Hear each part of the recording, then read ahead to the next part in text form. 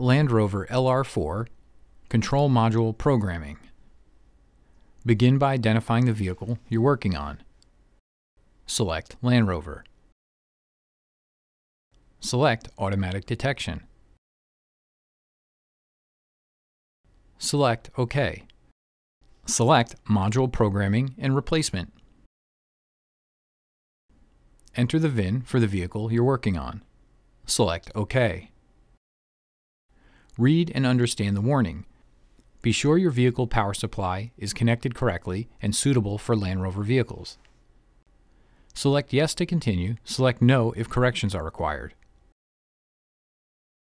A Land Rover module programming guide is available on the Autologic website. Select OK. Locate the module you wish to program. In this example, we are programming the Ride Level module, RLM. Select Next.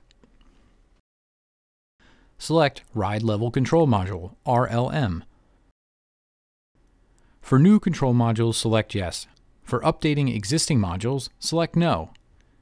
In this example, we are updating an existing control module. Select No. Enter the VIN. Select OK. The vehicle order is saved. Send orders to Autologic using the Download Manager. Select OK. Select DrivePRO. Select Module Programming and Order Manager. Select Send Orders. Select the order for the vehicle you're working on. Confirm the information is correct and select Send. Select OK. You will receive an email when your programming file is ready to be downloaded. Select Module Programming and Order Manager.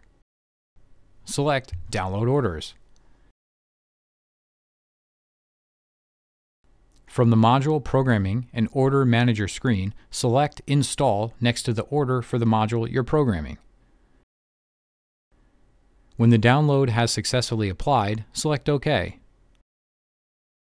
Select the back arrow. Select the back arrow again to return to the DrivePRO home screen. Navigate to Module Programming and Replacement.